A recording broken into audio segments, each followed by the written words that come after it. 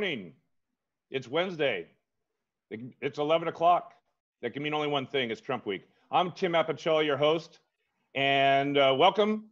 And this week's title is Trump's Plan, Whistling Dixie, Defending the Confederate Flag and Statues. Uh, you know, years ago, many years ago, um, I was talking to a very uh, seasoned veteran, uh, an HR director, human resource director. And she made the comment that Tim never tried to assign rational behavior to an irrational person. And I thought about that and it's always stuck with me. But I think for the last year and a half, I, I have forgotten that lesson because I've been trying to over and over and over again, trying to assign rational behavior to the president of the United States and um, banging my head against the wall.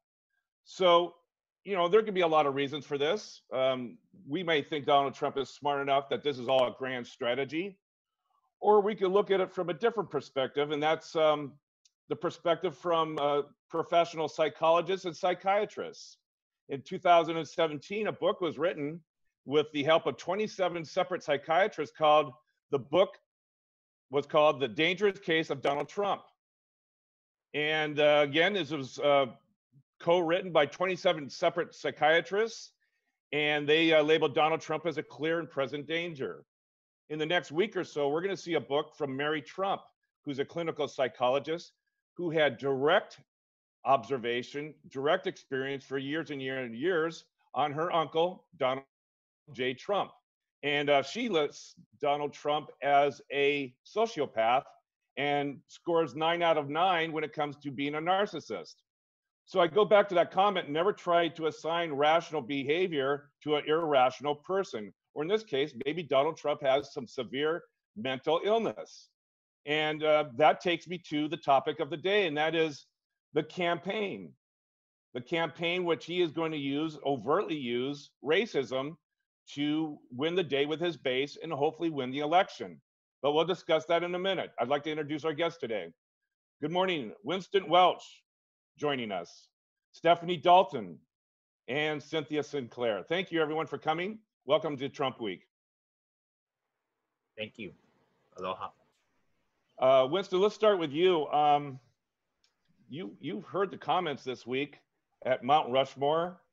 Uh, you probably heard the comments at uh, the White House, and basically saying that these this heritage of ours, presumably a Confederate heritage, needs to be preserved, and the protesters need to stop uh, destroying statues or having these statues taken down, and that uh, he's going to do whatever he can to defend those statues and preserve the heritage from the liberal Nazi left. He used the word Nazi.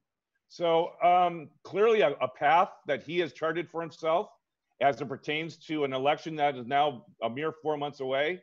And the question is, will this strategy work? Um, a lot of Republican senators and, and congressmen seem to be very uneasy with it, although they're not speaking out overtly against it, except for um, Liz Cheney. Uh, most of them are, as usual, silent. So, uh, any uh, any uh, impressions about his Mount Rushmore speech? You know, it's it's just hard to listen to him whenever he speaks. uh, Cynthia said he's got a, he's got a word salad um, that was coming up, but essentially, this strategy of uh, there was a good article. It was uh, the New York Times or Washington Post that said Trump may be the last president of the Confederacy, and I think that's true. That whatever pandering he's doing now towards, uh, you know, the white suburban voters or or whoever it is that he's he's going after, will be it's it's failed. Uh, this is a day late and a dollar short. Uh, it might have worked before uh, the um, George Floyd uh, killings and subsequent uh, uh, demonstrations in 450 cities and towns across the nation and then the world might have worked then, but it's not going to work now. Um, you know, you, you have even Mississippi that changed its flag, NASCAR. It, it's just like, okay, folks, yeah, we got to, these are bad symbols of hatred. We're not going to keep them up anymore. And if Let, he wants, let's remind the audience of some of the, the Donald's greatest hits of racism um, the first one comes to mind is the Central Park Five. You know, he ran full page ads in the newspaper about the guilt uh, the guilt of the people that were uh, accused of the the rape in Central Park, and then let's fast forward to the the birtherism issue with Donald uh, with Barack Obama, and how that uh, Barack Obama was not born of this country, therefore he's ineligible to become president of the United States. And uh, basically, I also wanted to see his uh, his college degrees because how could how could an African American go to college and, and graduate, especially uh, Barack Obama? Uh, you know, then let's talk about the Mexican uh, judge, quote unquote Mexican judge that Donald Trump thought was not authorized or, or credible to judge his cases. I think specifically this was the university fraud case, and that uh, judge, I think his name is Judge Curiel, should recuse himself because he had Mexican descent and therefore wasn't qualified. Then we can go on, on and on of two recently, and that is the, the retweeting of a, a video uh, at the villages at, in Florida, where within eight seconds into the video, which of course, Donald Trump said he never saw. Um, these guys are on a, a, golf cart, fist fist enacted, and saying white power, and he retweeted it and basically stood by it. Or we could talk about um, back in Charlottesville few years ago, where uh, he assigned the the moniker "very good people" on both sides. So neo Nazis and KKK, which was part of that group, burning their torches as walking down the street, um, making uh, statements about anti uh, anti-Semitic statements. Um, very good people on both sides. And last but not least, you know, our comments about NASCAR and um, the fact that NASCAR is going to lose ratings because they're banning the Confederate flag and asking Bubba Wallace that, not asking, but suggesting Bubba Wallace should apologize uh, because the noose in his garage was already there and therefore his concerns was a hoax.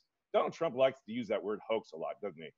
But anyway, these are just some of his uh, greatest hits, and I, there's many more. I don't have time to, we don't have time to list them all. But um, what makes you think, Winston, that this won't work this time again, like it did in 2016? Well, people have woken up a little bit. I mean, even when you're surveying uh, his base, they're saying this is actually race is actually a real issue in America that we need to address. It's it's at that time. So it doesn't matter, even in the places where they say, I was reading a, a broken down uh, survey that said, even where there's riots that have gone on or lawlessness or, or where they said this these were violent demonstrations, they still said this is the race issue we do need to tackle. We need to address it. It is it is beyond uh, partisan politics, and so therefore when you've got your own people that are supposedly your base that this is going to play to and they're not buying it anymore uh, he needs to start selling something different real fast and either it's got to be uh, i don't know what it's going to be but you know it was like uh, we said last last week and we were talking before the show remember last week it was about do you think that the this will be the last straw about the um, the pay price on the the bounty price on soldiers um, in afghanistan that's so old news now because we've had uh, you know the statues saying uh, COVID's 99% okay. Um, the book by the niece, um, super spreader events. Uh, you know now he's saying masks are okay. There's so many different things that have happened in a week that this just uh, th- and then the NASCAR thing, the the, the whole all of it, it, it's it's just sort of you can't keep up with it on an hourly a daily basis much you know you got to pretty much go by the hour so so almost he's he got to find a new issue there's almost nothing that breaks the, the, the, straw that breaks the camel's back. It's almost impossible to find one, one activity or, or one statement that could possibly come from Donald Trump where everyone just says that's a bridge too far. It doesn't seem like there's ever a bridge too far anymore. This one is this one isn't a bridge too far, but I think it's one that's been that uh, that the majority of his supporters and people are just saying we don't need to go there anymore. Um, it's just like it, it, there's certain things that we understand as a mass consciousness. We don't need to go there. So it's not really something that's an egregious thing that's going to break any of his supporters' backs because there's so many other issues they'll support him on. But I just don't see him getting any traction with this anymore. All righty. Thank you, Winston. Stephanie, uh, do you believe Donald Trump is using race in the div- dividing America as his primary strategy for the re- election of his presidency? Well, I certainly agree with all. Or, or is it just the uh, soup du jour flavor of the week, and he'll be on to a different strategy in a couple weeks or a week from now? Or do you think this is the primary, the primary um, platform he's using? Uh, that that's such a good that's a good question, I, uh, Tim, because you're suggesting or you're questioning the strategy issue. And I think that not only our own observations, but others um, uh, more expert in, in all of this thinking uh, and acting have said there, there's no strategy. I mean, not only is there no strategy, there are no principles guiding anything. And this has come from, yeah, as you know, Bolton, and now I think this new new new niece, new book of the nieces get she gets at that too. But um, so th- there we are with a person um, who is not developing in the role. And I think the great charity that was given to him in the beginning, the huge generosity and acceptance of him um, through the difficulties of that election, to to to have uh, uh, some on the job training and some uh, legging up there learning curve learning curve. I think the united states uh, population has been so and government so generous to give him all the chances in the world to to do things in uh, presidential ways. Who can know how of course who can know how to do that before you're actually in it? Yeah. well, but know, it's time for uh, the people to to say that's over and we need mm-hmm. some changes. There are i think that's the point and maybe the book will support this. There's no development because he's not he's not engaging the process. He's not learning he's not listening. Importantly he's not listening and he's not uh, using anything. Well and that's he's not listening to his political advisors um, the reelection campaign folks. He's not listening to him the reports are he's going by his gut on this one. And they don't they don't think and i don't think anyone thinks that it's a winning strategy. In fact if you look at the swing states and the poll numbers we're a solid 10, 11, 12 points, even in, um, you know, uh, Michigan and, and those critical states that he he won in last time. And the polling numbers seem to suggest that whatever strategies he's using, either on COVID 19 or um, his his insistence to defend the flag, the Confederate flag, and use racism as a, a basis for division, um, that strategy is not working, and the poll numbers are reflecting that. But as we know, uh, Stephanie, is that poll numbers change. And yes, and also I, I suggest we just stop even using strategy as a way to describe anything. And yes, and also I, a really good point was made last night by one of the commenters that I'm thinking about, which is we have not national polls. Evidently, that that program doesn't really look at national polls very much because we actually have 50 50 elections. Yeah. So, however, been there are 50 separate elections. This is vis-a-vis the developments with the electoral college. But the point is that we've been generous. And now how much of this do we have to endure? And the United States population has gone by the rule of law, by letting this man continue doing what we could through the rule of law and we have been so patient and and uh, we we need to think about getting back to this and whether there needs to be some amendment of the are giving us a way to think through. Anyway, there's lots of that list of to dos. As you can see, I'm looking forward. yeah. Well, the list is going to be multi pages. All right. Thank you, Cynthia. Excuse me. Thank you, Stephanie. Cynthia, um, what are your what are your thoughts on this on Donald Trump's uh, racist strategy to become the second term president? I believe that's what he is totally banking on at this point um, because all of the people that voted for him before that aren't racist, that were just voting for him because they thought, well, I don't like Hillary, so I'm going to pick him, um, kind of thing. See if he can, you know, we'll see what he can do. Give him a chance, like Stephanie was saying. And he's been given every chance. And those people are not going to stick with him. So his core base are those racist Southern well, not all Southern. I mean, we've got plenty in Idaho and spread out throughout the country also. But, um, and it's that Dunning Kruger effect, which is why they follow him, because they're allowed to have those feelings and then have somebody get to a high position. So they are making it okay. It's like, well, I'm, it's okay for me to be like this because look, the president is like that. So I guess it's okay to be that way. You know, it, it, used to be said that Donald Trump is blowing a dog whistle, that only certain people can hear the, the sound of that whistle.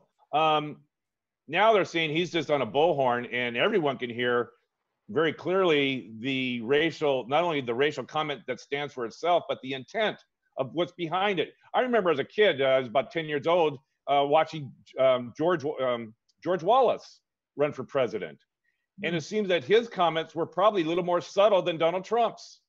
Um, I, I, I can't believe that Donald Trump is this overt in what he says and how he says it. Yet um, it's 2020, and again, maybe we go back to Winston's point: is there's there's no bridge too far anymore. It's just it's one one calamity after another, and, and people are desensitized to it. And so the, the most outrageous racist statements that Donald Trump makes um, kind of hits the 15 second news cycle, and we're on to the next calamity.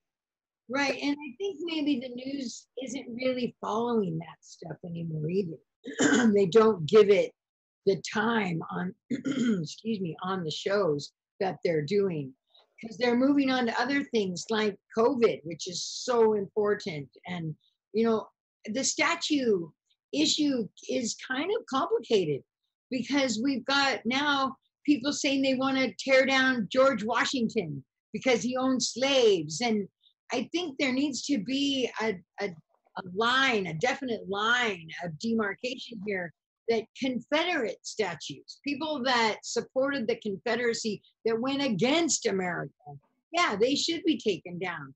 You don't have to erase history. So, was Donald Trump referring to Confederate statues and his uh, Mount Rushmore speech and his White House speech that the no one's going to tear down our heritage, or was he refer, was he referring to Hamilton and George Washington statues? I, I definitely got the distinct impression he was talking about General uh, Robert E. Lee, uh, Stonewall Jackson kind of type statues. Absolutely, all along with the Confederate flag, which are the dog whistles, like you were talking about, to the base of racist people. And these are people that don't want to face, they've had this racism inside themselves and they don't want to face it. And so finally, there's somebody in a high, powerful place that makes it okay. So now they don't have to hate themselves anymore. So there is nothing, literally nothing that Trump can do that's going to separate him from those people. Okay, and we and we think well the numbers seem to reflect that somewhere between 38 and 40%. And as I said last week, is this a situation where he can count on that 38 to 40% of being activated and getting out of their armchairs and going and voting probably by mail that would help them even though Don Trump thinks that's a fraud, um, b- being activated to the point where a, a high percentage of that 40% votes and hoping and wishing that the 60% or 55 to 60% that opposes him, uh, they'll be complacent, lazy, lackadaisical, and won't get out of their chairs to vote, and the, the numbers will win the day. I, I think I mentioned that last week. I believe that cheating is what's going to win the day. Um, I don't believe that that Trump has any hope of winning the majority vote. Um, I really don't. I well, you and Joe Biden said he's the same thing. Joe Biden said it this week. His biggest concern is uh, he's going to steal the election. Right, and that's exactly why he's so against mail-in ballots. We got to remember that when Ivanka Trump got those those um, what you call it, those. I know I say this every week. You guys are probably getting sick of it, right? Okay, you got to keep it short. what? Do you know more? I'm sorry to put you on the spot, but I'm so curious. Look into Dominion voting machines, voting company, voting systems, I believe is what it's called. And I believe that's where that software from China is. I, I, did follow up on that on Snopes, and she does have the she does have the the patents on those. Exactly. Uh, so no, Snopes did did confirm it. Um, we haven't heard a whole lot more from it, but you're right. All right, I'm gonna I'm gonna switch gears here, Cynthia. I'm going to go to Winston. You know, it's not just um, it's not just the racial uh, strategy that Donald Trump is using to set the polls apart, but also obviously what started it, I think, was his his approach to COVID-19. The fact that he was ignoring COVID-19, and now he's he's walked away from it. It, it doesn't exist anymore. Uh, the most recent one was that all these cases, 95% of them were harmless. 90, uh, 99%. excuse me, 99%. I stand corrected. Um, you have another show that you do. Uh, both, all three of you do a one called uh, Coronaville. So do you guys think that he has completely walked away from trying to uh, stamp out COVID nineteen in the United States, and he he he wants to do maybe what Sweden did is and try to get herd immunity and let a million plus people die because that's what it's going to take for herd immunity, and Sweden never did find it. Winston. I mean, that's what's happening. That's it's our strategy now is just let the states deal as best as they can. You basically, I think the thinking is you had three months to prepare from the very beginning, where we shut things down, and then we opened it up, and you guys are on your own. And good luck. And and as you feel like you need to shut things down or open things up, that's what's going to happen. But basically, uh, I had read somewhere where perhaps 50% of the population will be infected by the end of the year.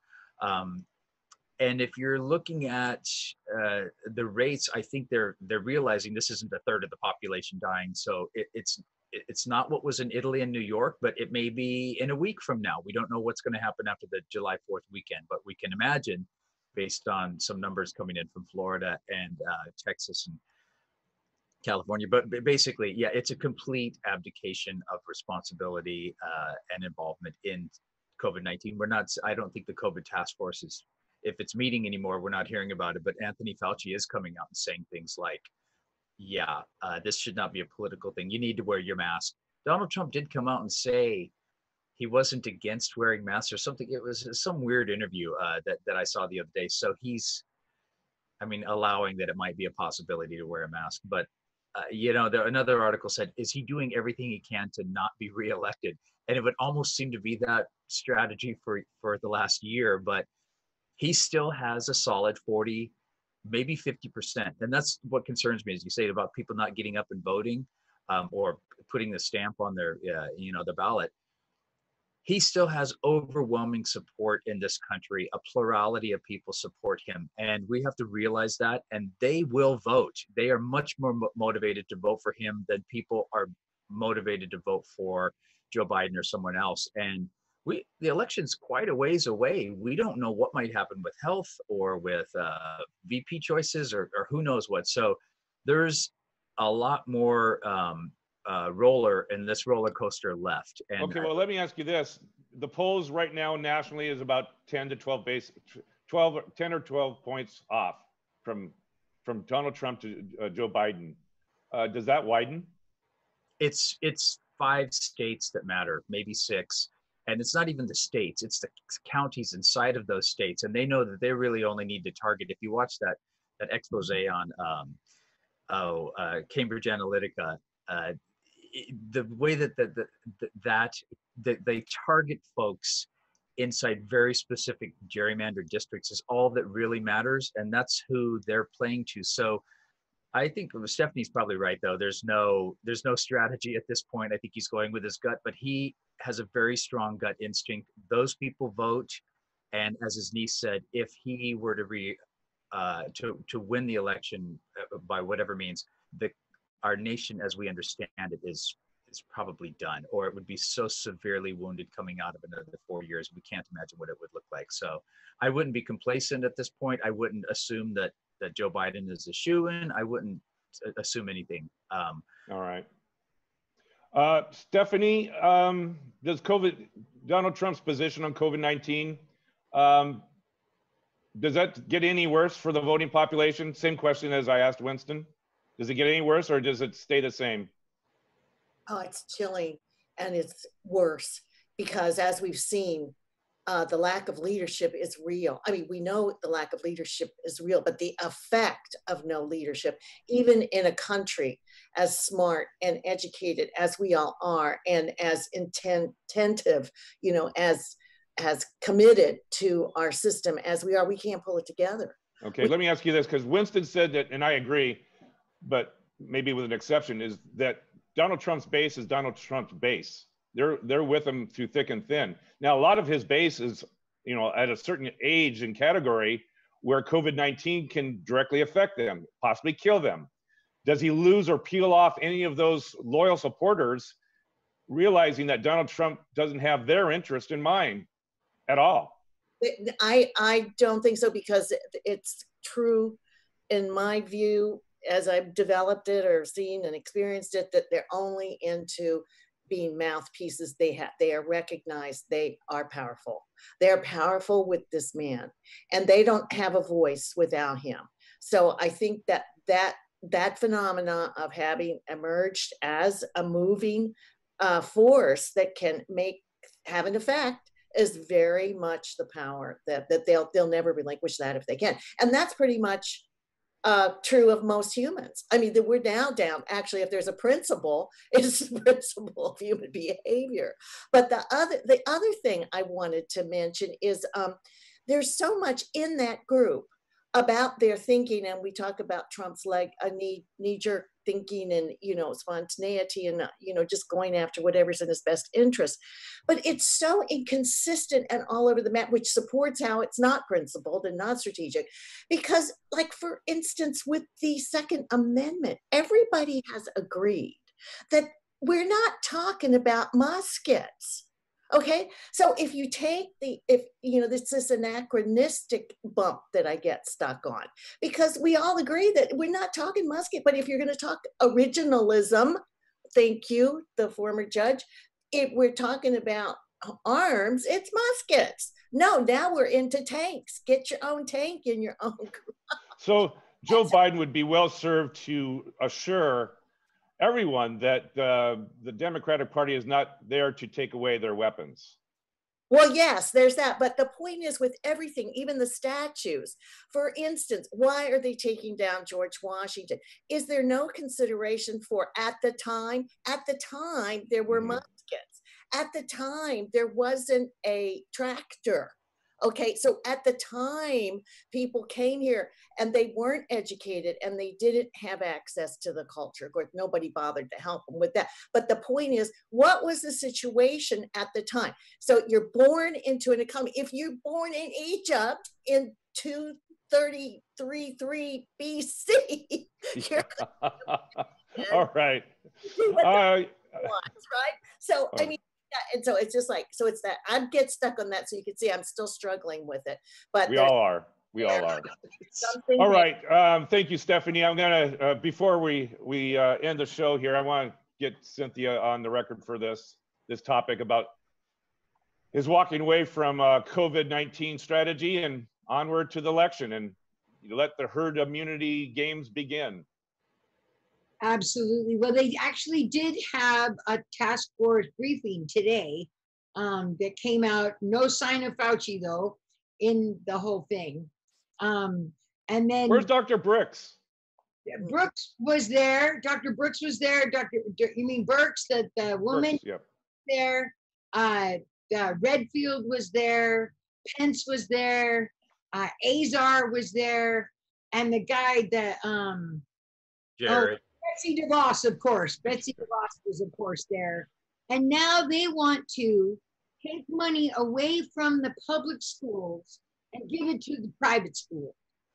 So instead of going to the kids that are the most needy and the ones that need it the very most, in order to make it work so they can have a safe reopening. But you know, Trump has said, even if the governors say they won't do it, he's going to override them and make the schools open. This is what Trump thinks about about all of this. Now, this is the word salad that um, that Winston referred to earlier in the show. This is a quote from him on the second. Some were doing very well, and we thought they may be gone, and they flare up, and we're putting out the fires. But other places were long before us, and they're now it's got a life and they're putting out that life because that's a bad life that we're talking about. Okay, guess Cynthia, guess what? With that word salad, you get the last word for Trump Week this week because we've run out of time. Uh, Winston, thank you very much. Stephanie, thank you. Cynthia, with the word salad, much appreciated. I will see you next week. I'm Tim Apicella, your host. Aloha.